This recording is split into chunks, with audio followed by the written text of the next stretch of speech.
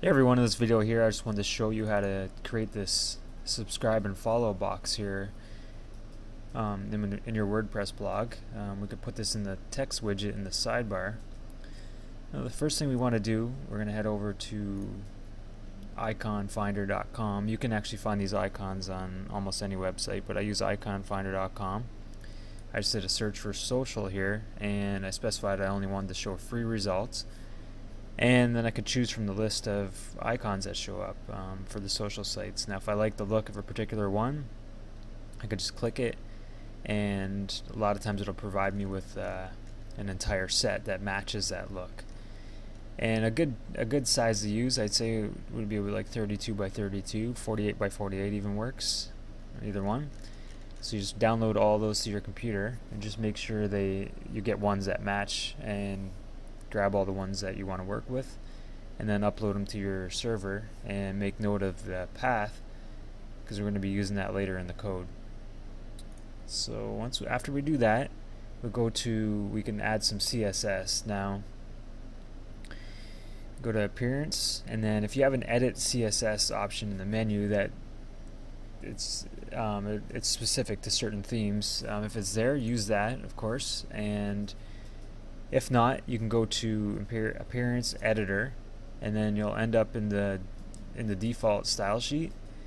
Now, it's not always best to modify this style sheet. If there is a custom one that you can use, go ahead and use that instead. Um, if you look on the far right side, you scroll all the way down, just below style sheet, you might see custom style sheet. And if that's there, use that instead. But use edit CSS, um, the CSS editor that's built in for the theme if you have one. Now, here's all the code that's going to be used. Um, this video is going to be linking to an article where you can copy and paste that code. And this is how it sh shows up. This defines the actual box. And these are just, there's a bunch of different sections of code here that defines it each for each icon. Now, FB, for example, is for Facebook, and then we'll put in the path to the actual Facebook icon in there.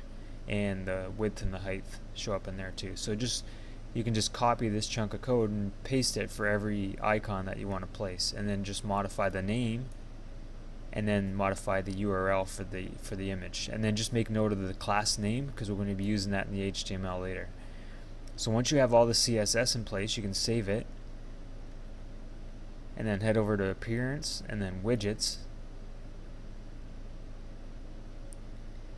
And for this I just use a text widget that I put in here put the title in, subscribe and follow, and then here's all the code for that. So now each icon will have its own paragraph here, and then you can just put in the path to the actual profile that you want to link to.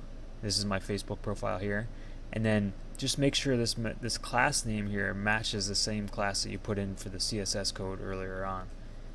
And then again, just copy and paste each chunk of code, and then modify the values for each um, profile or page that you're working with. And that's it. And then just click Save, and when it's all done, you'll have an icon set similar to this. And that's it. Thanks for watching.